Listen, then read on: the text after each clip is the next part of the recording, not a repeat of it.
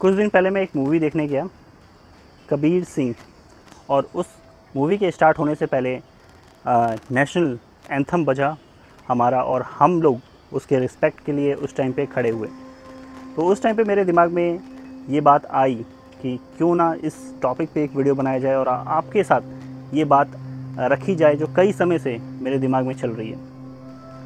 देखिए 2006 में ये केस कोर्ट के पास गया था और उस समय कोर्ट ने ये फैसला किया था कि हर एक सिनेमा घर में, सिनेमा हॉल में मूवी स्टार्ट होने से पहले नेशनल एंथम बजेगा और उसके रिस्पेक्ट के लिए हर कोई उस समय खड़ा होगा। उसके बाद काफ़ी सारे घटना इसको लेकर हमें देखने के लिए मिलती रही। काफ़ी ज़्यादा हाथापाइयाँ होती रही और कई बार ऐसा होता था कि कुछ लोग जानबूझ के खड़ा नहीं होते थे। तो उन लोग के साथ हाथापाई होती थी। वो चलो ठीक था। कभी कई कई बार ऐसा भी होता था कि कुछ लोग ऐसे सिनेमा घर में पहुँचते थे जो आ, सही समय पे खड़े नहीं हो पाते थे या खड़े होने में ही असमर्थ थे। तो उन लोग के साथ भी अभद्रता होती रही गलत फहमी की वजह से या जो भी आप कह लें। तो उसके बाद फिर से ये कोर्ट में केस गया और कोर्ट ने फैसला किया कि नहीं जो सिनेमा घर में है वो नेशनल एंथम नहीं बजेगा अब से पर अब फिर से नेशनल एंथम के लिए जो ये केस गया तो आखिर में कोर्ट ने ये फैसला किया कि आ, ये सिनेमा घर के ऊपर रहेगा कि वो मूवी से पहले नेशनल एंथम बजाना चाहता है तो बजा सकता है नहीं बजाना चाहता तो ना बजाए।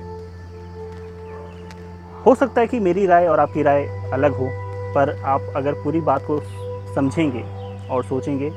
तो मैं आशा करता हूँ कि आप मेरे से पूरी तरह से एग्री होंगे। देखिए, जो ये मैंडेटरी किया गया था पहले, वो भी गलत था।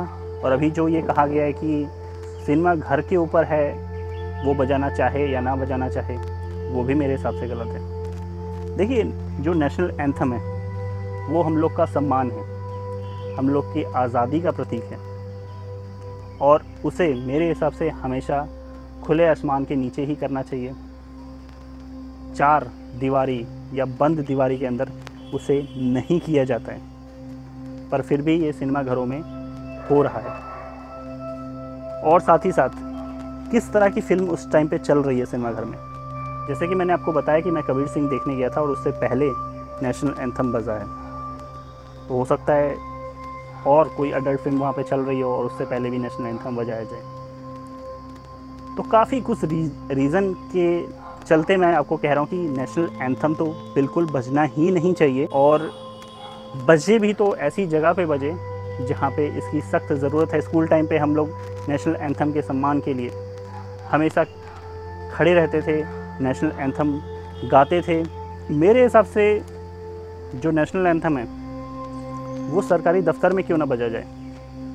कोर्ट वहाँ पे क्यों नहीं इस फैसले को लाती है कि वहाँ पे मैंडेटरी हो कि नेशनल एंथम होना ही चाहिए। अभी आपने उत्तर प्रदेश में सुना होगा यूपी में सुना होगा कि नौ बजे पहुँचने का फरमान सुना दिया गया है टाइम टू टाइम पहुँचने का फरमान सुना दिया गया है, तब भी लोग वहाँ पे नहीं पहुँच रहे दफ्तर में, अपने सरकारी दफ्तर में।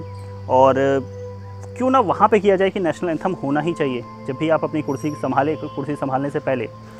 आप वहीं नहीं पॉलिटिशियन लोगों के लिए भी ये चीज़ ज़रूरी होना चाहिए उन्हें नेशनल एंथम गाने के साथ साथ उनका सम, उसका सम्मान और वो क्यों ज़रूरी है? वो उन्हें याद दिलाया जाए और अपने कर्तव्य का सही पालन करना उन्हें सिखाया जाए। और वहाँ पे अगर टाइम से आदमी नहीं पहुँचता है जैसे नौ बजे अगर नेशनल एंथम होना है वहाँ पे अगर जो एबसेंट रहता है तो उस पर कार्रवाई करना है तो करे सरकार। ये ज़्यादा बेहतर रहेगा हमारे लिए और हमारे देश के लिए। आपका क्या मानना है? आपका क्या कहना है? आप अपने विचार नीचे कमेंट में मेंशन कर सकते हैं और साथ ही साथ इस वीडियो को शेयर करने के साथ साथ लाइक करिएगा अगर पसंद आया तो।